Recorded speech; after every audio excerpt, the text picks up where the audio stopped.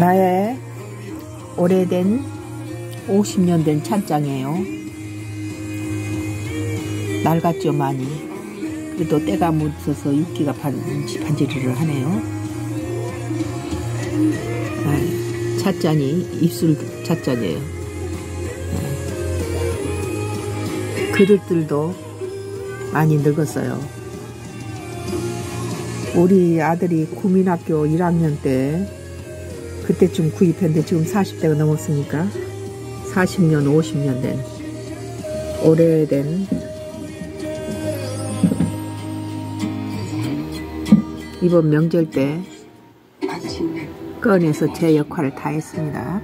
우리 일을 그렇게 말하지 말아요. 내일 무슨 내가 당신 집 앞에서 밤마다 세상에 그리 어제 내가 그렇게 말 이건 어떤 어, 도예가 도예가가 어, 카센터에서 만나가지고 줬던 어, 찻잔 숟가락 받침인 것 같아요. 그냥 우리는 그렇게 사용하고 있는데 그냥 공짜로 주더라고요.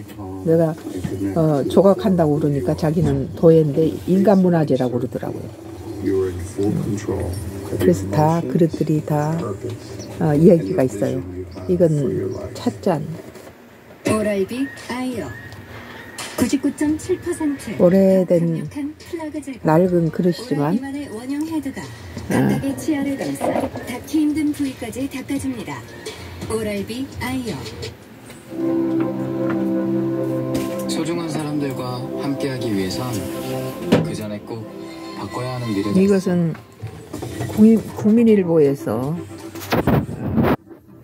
그 하단부에 그림이 예, 그려져 있는데 제목이 사파로 그려진 그림에 예수님도 때로는 울기도 하셨다라는 평면 그림을 보고 바로 조각 내가 주제인. 뼈로 어. 형상화시켜서 어, 대리석으로 뽑았죠.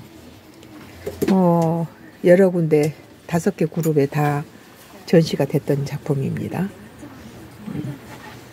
아마 한 20년은 넘었을 것 같아요. 30년 가까이.